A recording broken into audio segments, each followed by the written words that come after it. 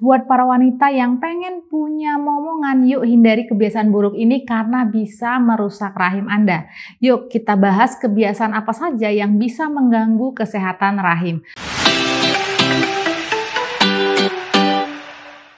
Hai Sobat Sehat, kembali bersama saya Dr. Grace di channel kesayangan kita Dokter 24. Ingat untuk like, comment, and subscribe channel ini ya. Buat para wanita yang pengen momongan. Yuk hindari kebiasaan buruk ini karena bisa merusak rahim Anda. Yuk kita bahas kebiasaan apa saja yang bisa mengganggu kesehatan rahim. Tapi sebelumnya nyalakan dulu ya bel notifikasinya agar sobat sehat tidak ketinggalan info terbaru dari channel ini. Kebiasaan pertama yang harus Anda hindari adalah sering begadang. Secara umum, sering begadang bisa memicu peningkatan berat badan baik pada pria maupun pada wanita.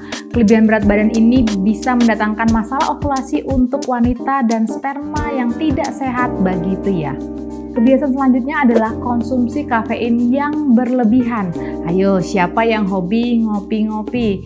Minum segelas minuman yang mengandung kafein seperti kopi atau teh mungkin tidak akan membahayakan kesuburan. Namun, beberapa penelitian menemukan bahwa konsumsi kafein lebih dari 300 mg per hari bisa sedikit menurunkan kesuburan dan meningkatkan resiko keguguran. Rutin berolahraga memang baik untuk kesehatan tubuh. Olahraga teratur juga bisa membantu menjaga kesuburan. Tapi jangan sampai berlebihan ya sobat sehat. Olahraga berlebihan justru bisa mengganggu kesuburan baik untuk wanita ataupun pria.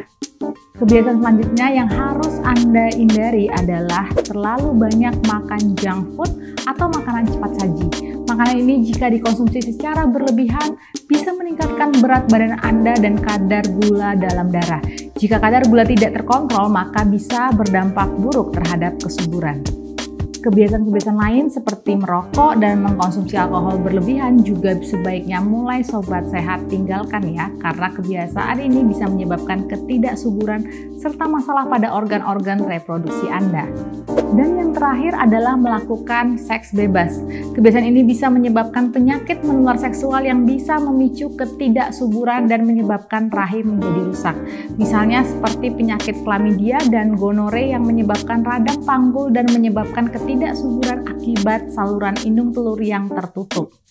Yuk kita tinggalkan kebiasaan-kebiasaan tersebut untuk hidup lebih sehat. Demikian informasi kesehatan kali ini, simak tips kesehatan lainnya hanya di Dokter 24. Salam sehat!